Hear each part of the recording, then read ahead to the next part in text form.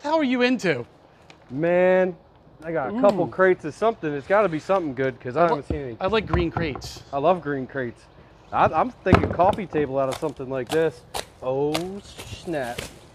Look at this. This is some of that good Polish stuff right here. Uh, Polish Airlines lot number here. Let me cut that thing real quick. It's always like Christmas here at Atlantic Firearms. Never know what we're getting in the door. Let's check it out. Ooh, Ooh. cool plastic bags. Awesome looking right. bags, anti-corrosion bags. no, but seriously, what's in this awesome looking chest? Smells fresh. smells like fresh wood. Sweet. Oh snap! Sweet. Mini Beryl pistol.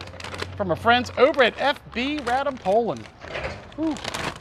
Nice and safe with that blue, blue job in the barrel here. Interesting. Clean.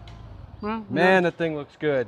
pretty sweet. These markings are really sweet, man. Wayne, They I just- swear. I told you to tell me when this stuff was coming I in. swear, I just took them off the truck. You, no raise. Tell no me you got a mag for this thing. I do. I do. I've got one. I've got one floating around somewhere. Um. So what do you have there?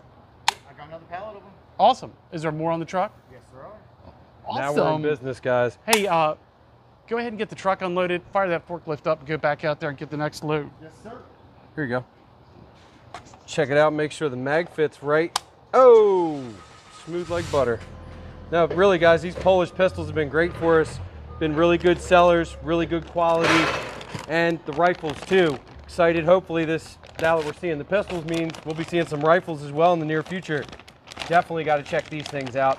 If you're not on the notification list, you should have been.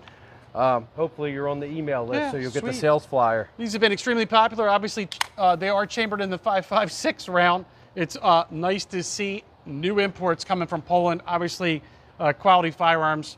Uh, FB has been followed for many years. Looking forward to a good relationship with them.